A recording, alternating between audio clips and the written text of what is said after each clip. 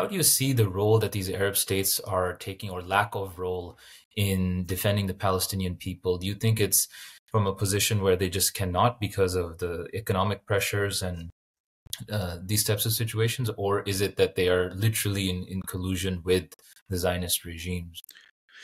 Well, expectedly, Arab regimes do come under enormous pressure.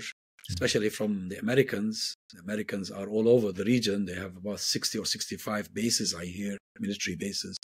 But that's not really the main reason. The main reason is that the Arab elites who are in government in much of the Arab world are actually Zionists, Zionists in ideology. Okay, they, they are Arabs, they are children of Arabs, some of yeah. them, some are not. Uh, they speak Arabic, they uh, profess to be Muslims, right? But actually, in in their mentality, in their ideology, they are Zionists.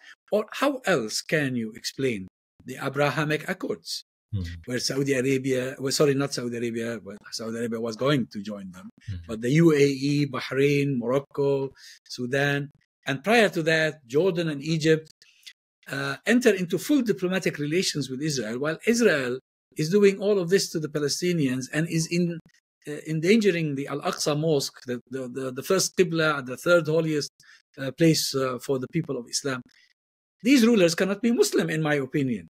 They're, they're just Zionists. And not only that, today, when the Houthis in uh, Yemen mm-hmm. are blocking the uh, entrance to the Red Sea and uh, influencing maritime trade, the UAE, Saudi Arabia, and Jordan step in to provide an alternative route mm. uh, uh, in order to um, to to provide Israel with its essential needs, while Gaza is denied all essential needs. Yeah. I mean, can can can these rulers be really uh, part of the ummah?